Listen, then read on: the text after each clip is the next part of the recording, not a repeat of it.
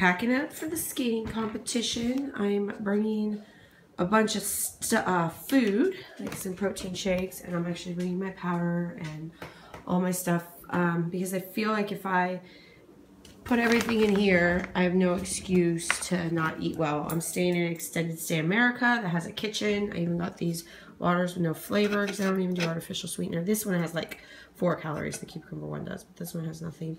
And it's supposedly just natural flavor. There's no sugar, but uh, cucumber has a little bit of natural calories anyways, not much. So I'm packing all of my stuff. I have my mixes and all that. So then that way I cannot get off my plan. Um, skating competition actually has some really good options like fruit, like they have apples and stuff. So for my midday protein shakes where I get apples and then enjoy supplements, I'm just going to eat the fruit they have there. Um, but I'm going to put all this. It's got to just stay cold and I got to take my doggy to the kennel.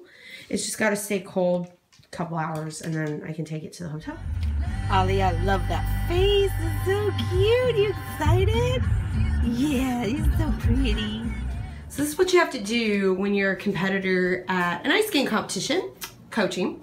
Had to get an extended stay America because, well, I get the fridge and I got the sink and I brought a shaker bottle and a microwave and there's my cooler and obviously my stuff to stay. And then I brought my protein powder. And then this is my awesome new Starbucks cup. You don't even understand. The bird lady needed the bird.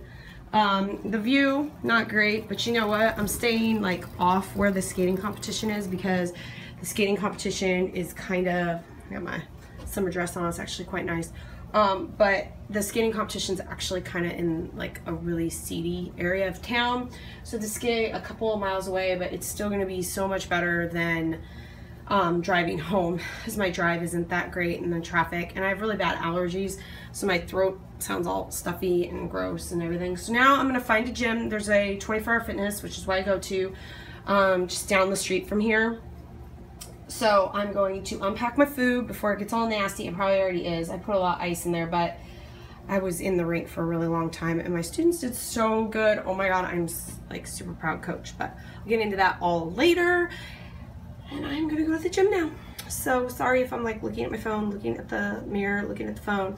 Anyway, um, but yeah, this pretty epic little setup I got here. So I'll, this will be my home for two nights and then just typical bathroom. But yeah, the fridge and I already got my water bottle in there.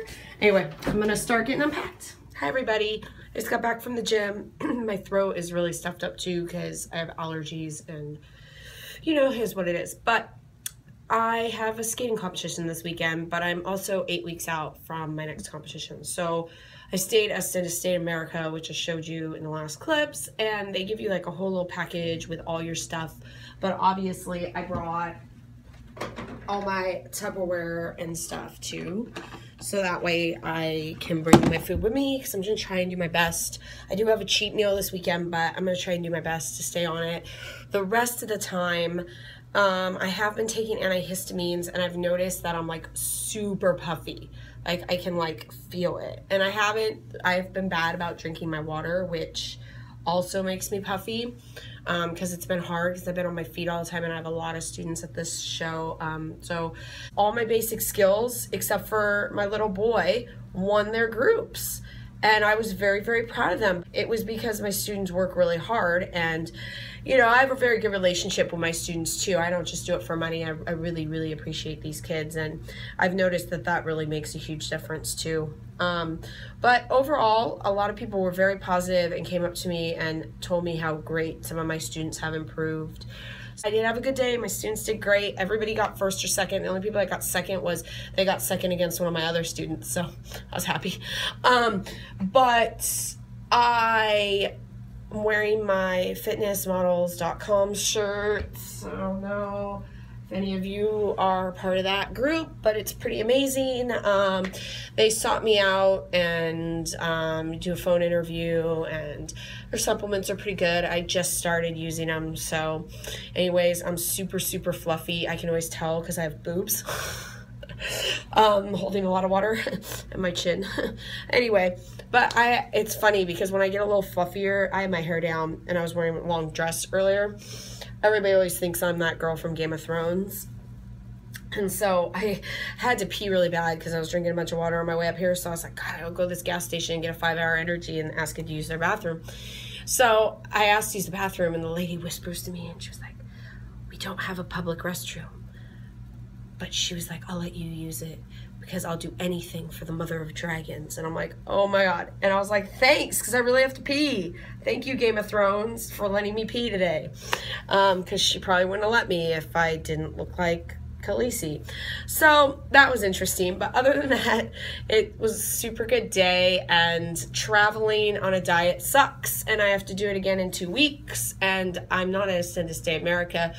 So I'm gonna have to do everything out of a cooler and it's further away. It's about three hours from home, as this is only about 60 minutes, 64 minutes it says from home. But um, if anybody knows Seattle traffic, 60 minutes from home is four hours through Seattle. Um, this drive, um, one time I left at 3.30 and um, it took me, and I'm only 60 minutes from this competition because I'm about 25 minutes from downtown Seattle and I'm about, and this about 25 minutes north of it. So it's maybe like 50 minutes.